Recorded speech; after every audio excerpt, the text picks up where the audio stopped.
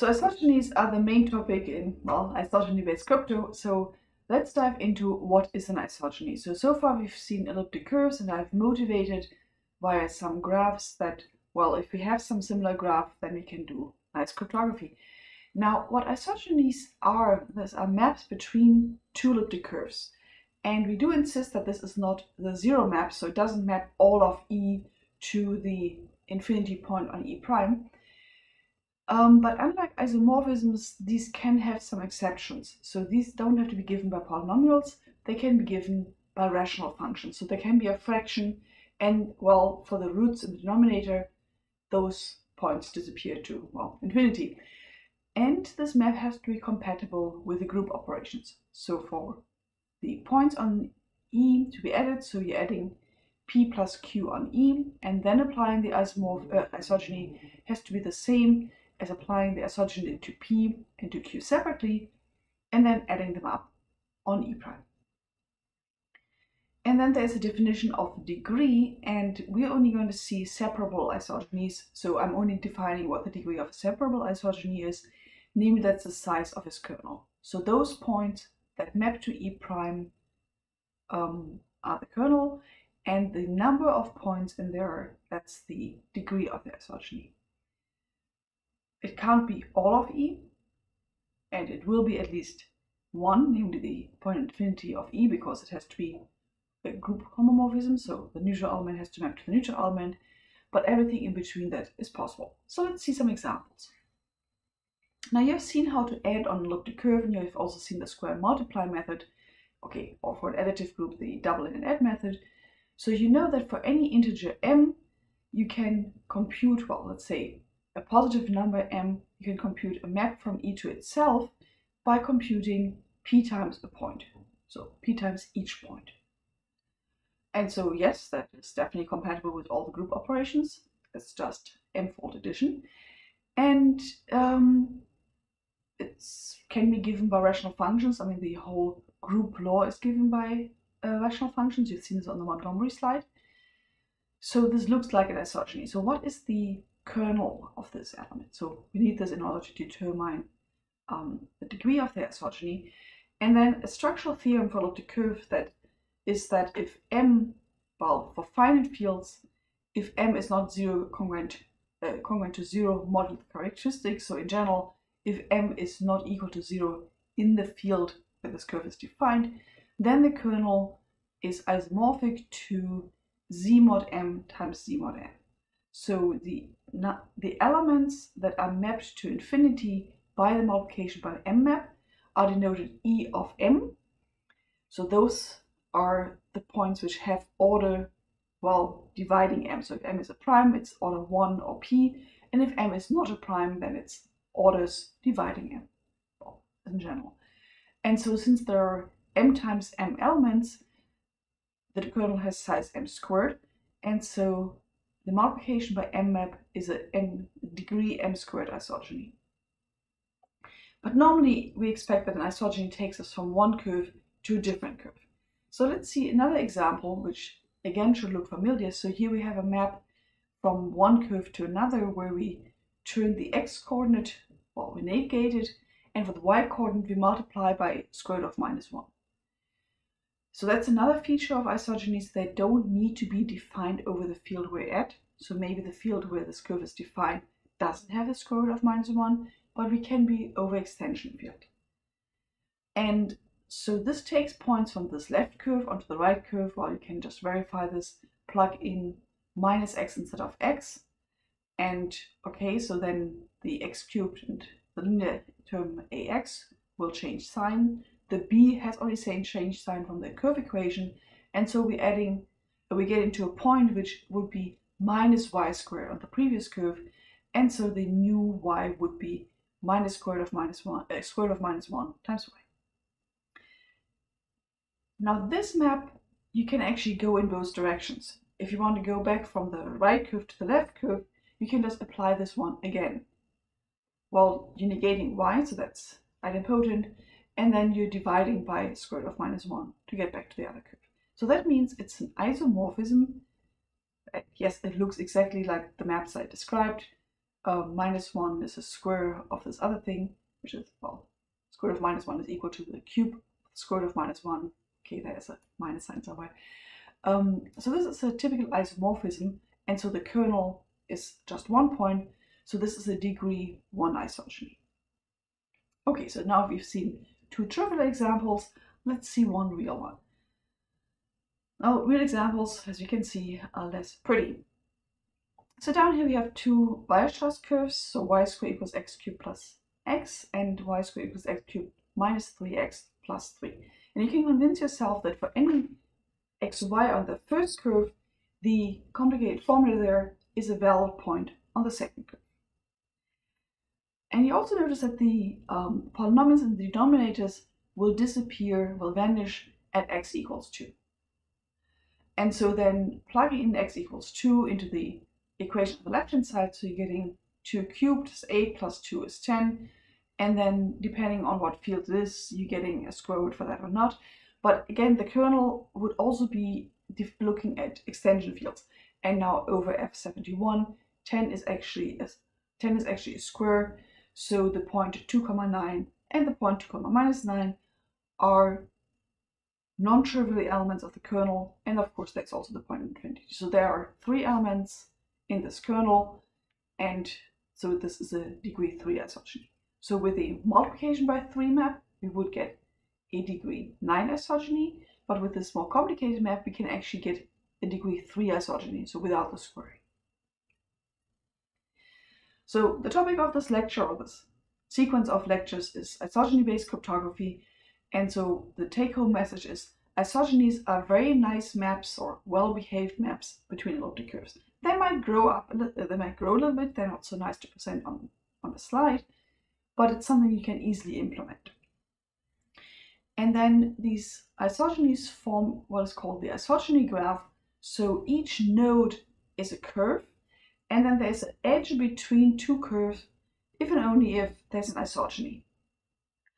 And then you can distinguish any isogeny or an isogeny of a certain degree. So for instance, you focus on degree 2 isogenies, then you're getting the degree 2 isogeny graph and then, well, you're moving around in that one.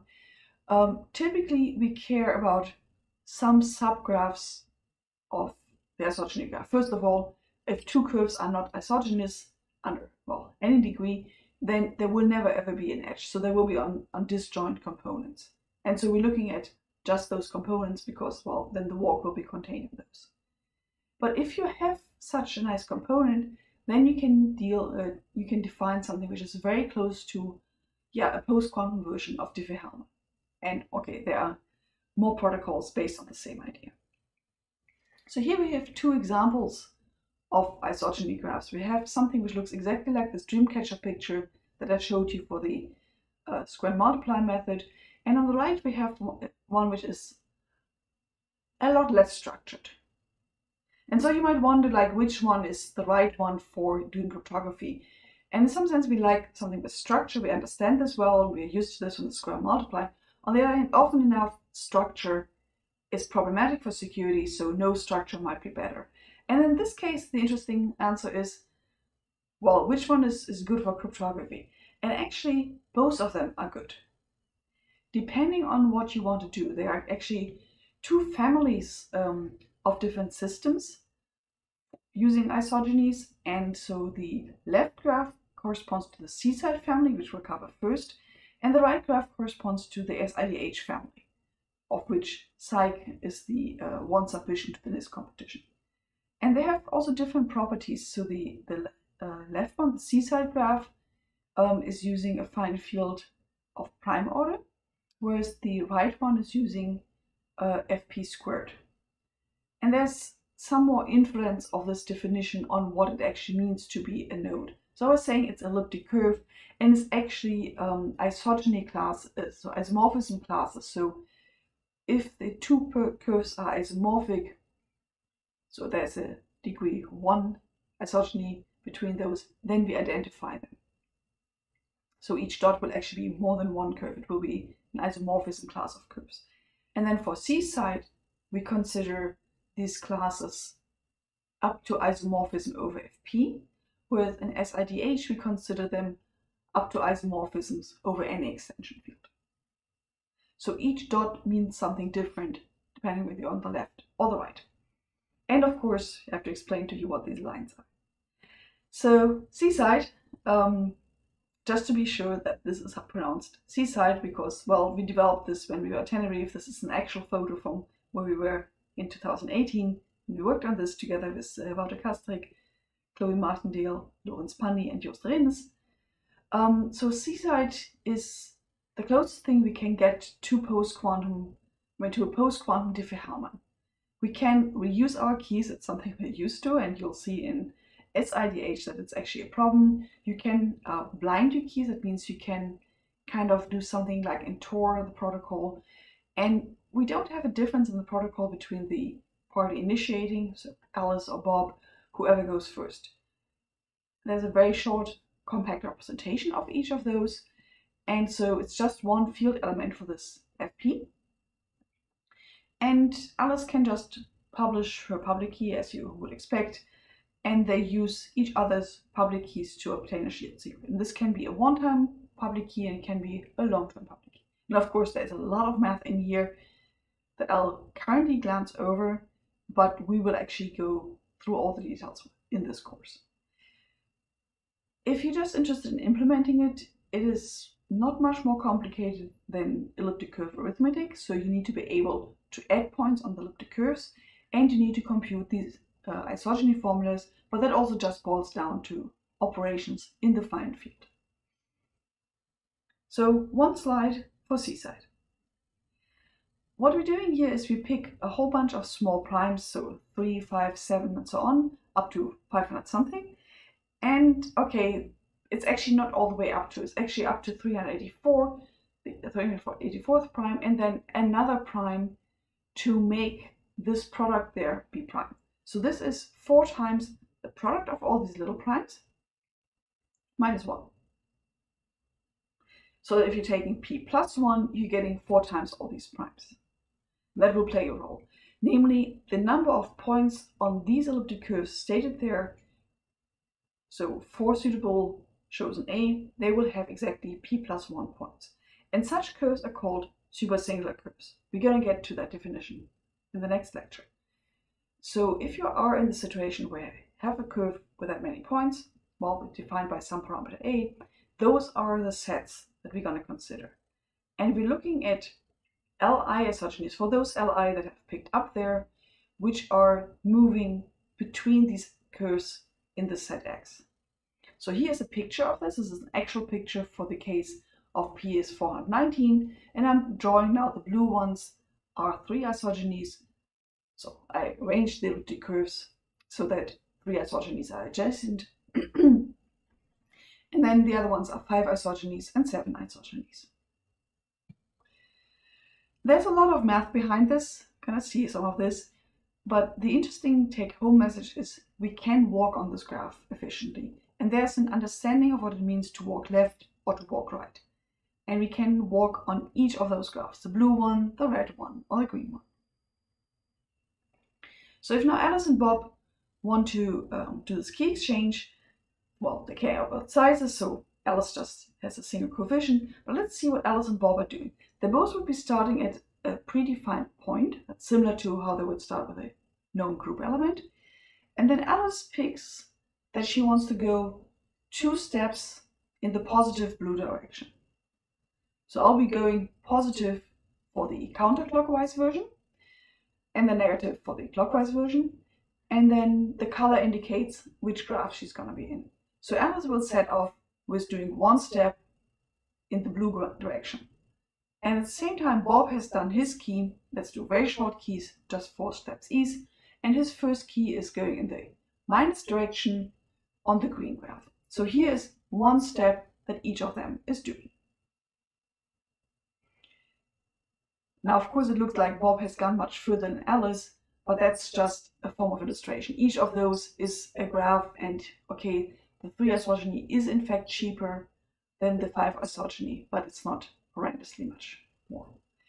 And then Alice is doing another step in the same blue direction, and Bob now picks a positive direction on the red graph. So let's see where they go. Well, small step, big step. Then Alice does one big step in the negative red direction, Bob does one negative on the green direction. And then finally Alice does one negative green and Bob does one negative blue. At this point, these are their public points. They've done enough steps. Now this is a very small example and if you, well, if you know where you started, you know how to get to these points. If this is a large enough graph so you can't actually draw it and you just know each of them went four steps on a subset of these graphs, you shouldn't be able to trace it. Four, four replaced by 2 to the 128 large steps. Okay, so they now exchange these points. So Alice gets magically transported to Bob's graph to the space, uh, to the place that she was at on her own graph. And then Bob gets moved to Alice's graph on the same dot. So you see like Bob was one off from the center and he's then moved to one off from the center on Alice's graph. And similarly Alice on the other one. And now for the Hammond well, you expect that each of them can do the same. And yes, this is a nicely well-behaved graph. So if Alice and Bob are now continuing what they've done before, so Alice on Bob's graph is doing her part, and Bob on Alice's starting point is doing his part, here are the four steps happening. And then by the power of math and magic, they both reach a point which is basically just south and a little bit to the left. So yes, these steps commute and um, with this we now have a very small, very simple version of the CSIDH key exchange and what we're going to do in the next lecture is actually understand where these formulas come from, what it means to do a step in the blue or green direction, what it means to be plus or minus.